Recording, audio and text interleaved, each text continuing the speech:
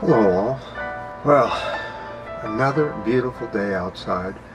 Too many people, so we're going to do the video inside. We're not even having a winter this year in California to speak of. It's just absolutely beautiful weather. There's even forecasts of 70 degrees next Wednesday. But people don't seem to realize that this nice weather shouldn't be here. We should be having rain and snow in the Sierra Mountains and bad weather in the oceans, but it's looking pretty nice. How are humans doing with renewable energy? It's been a while since I've uh, updated that. Some interesting news about that. Let's go over to the board. How are renewables doing? Renewables to expand by 50% between 2020 and 2025. In 2019, renewables accounted for 11% of total energy consumption worldwide. 11%, that is up. Last time we looked at that, it was about 3%.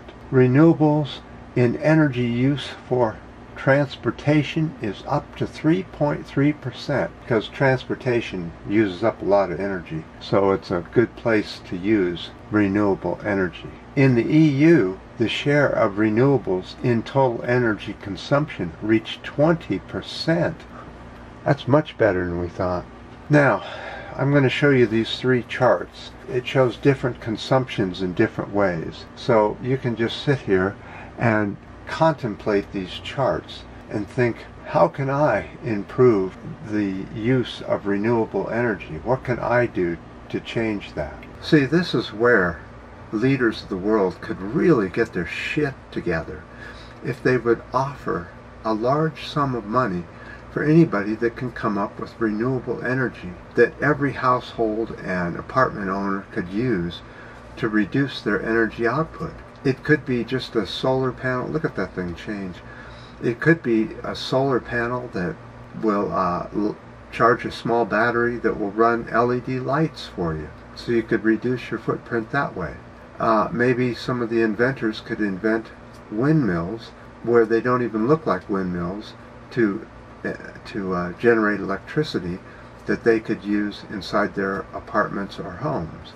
There's so many things that our governments could do to get the renewables off and running. And it would include all of us. Because the more we invent, the better it would be instead of relying on corporations who are only in it for the money. People themselves will do things as a hobby without worrying about whether they make a profit or not.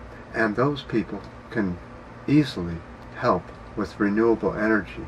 So, Biden here in the U.S., let's do it. Let's get an energy Let's get a way of inventing new renewable energy and pay these peace people handsomely. And you'll be through this faster than you ever thought. Oh, but that might be too easy, isn't it?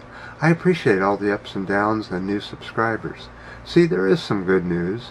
However, at this rate of increase with the renewables, it'll never get here in our lifetime. We need to speed things up. That's where Biden could come right out and start the whole thing rolling.